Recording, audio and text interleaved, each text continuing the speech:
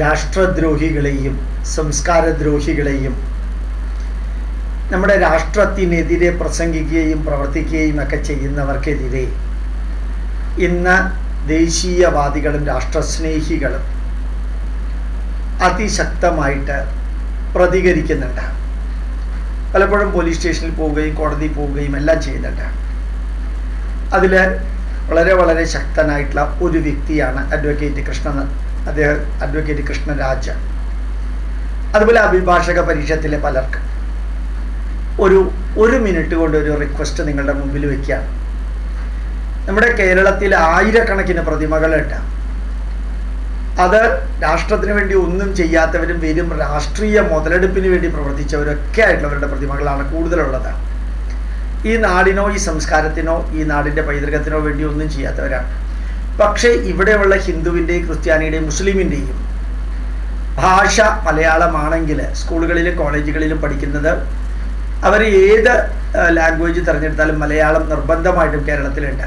ആ മലയാള ഭാഷയുടെ പിതാവ് എന്നറിയപ്പെടുന്ന തുഞ്ചത്ത് രാമാനുജൻ എഴുത്തച്ഛന്റെ ജന്മസ്ഥലവും മലയാള സർവകലാശാലയുടെ കേന്ദ്രവുമായിട്ടുള്ള തിരൂരിൽ അവിടെ അദ്ദേഹത്തിന്റെ പ്രതിമ വയ്ക്കുന്നതിന് പകരം ഒരു മഷിക്കുപ്പിയും ഒരു തൂവലുമാണ് വെച്ചിരിക്കുന്നത്.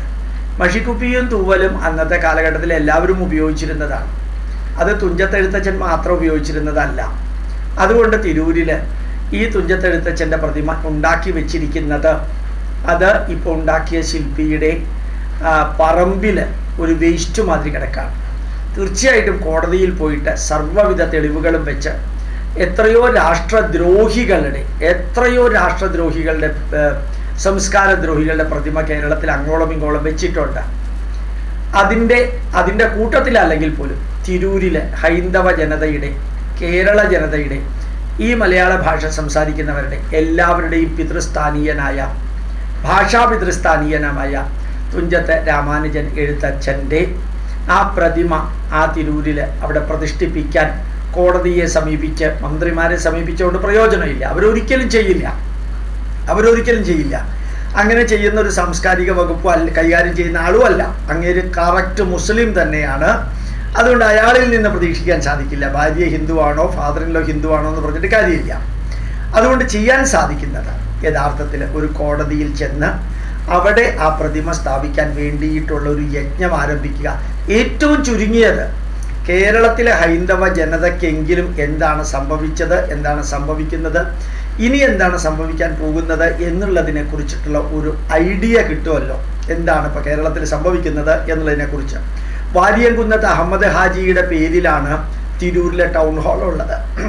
പതിനായിരക്കണക്കിന് ഹിന്ദുക്കളെയും ആയിരക്കണക്കിന് ക്രിസ്ത്യാനികളെയും കഴുത്തറത്ത് കൊന്ന ഒരു മാപ്പിള സ്ഥാനം ഉണ്ടാക്കാൻ മാപ്പിളകളെ ഉണ്ടാക്കിയ ആളുടെ പേരിൽ ഒരു ഒരു ടൗൺ ഹാൾ ഉണ്ടാകാമെങ്കിൽ മലയാളത്തിൽ ഉള്ള നാല് നാലര ലക്ഷ നാലര കോടി കേരളീയർക്കും അവരുപയോഗിക്കുന്ന ഭാഷയെ ഇത്ര ഗംഭീരമാക്കിയ ഒരു ഭാഷാപിതാവിന്റെ പ്രതിമ തിരൂരിൽ വെക്കുന്നതിനെക്കുറിച്ച് കുറിച്ച് വെപ്പിക്കുന്നതിനെ കുറിച്ച് തീർച്ചയായിട്ടും ഒരു കോടതിയിലോ അല്ലെങ്കിൽ എടുത്തേണ്ടടുത്ത് എത്തിച്ചിട്ട് പരമാവധി ഗവർണറെ കാണാനും മുഖ്യമന്ത്രിയെ കാണാനും സാംസ്കാരിക മന്ത്രി വല്ല ബോധമുള്ളവനാണെങ്കിൽ അങ്ങേരെ കാണാനും പിന്നെ കോടതിയിൽ പോകാനും പരമാവധി പ്രവർത്തിക്കാനും അഡ്വക്കേറ്റ് കൃഷ്ണരാജനെ പോലെയുള്ളവരോ അഭിഭാഷക പരീക്ഷത്തിലുള്ളവരോ ശ്രമിക്കും എന്ന് പ്രതീക്ഷിക്കാം.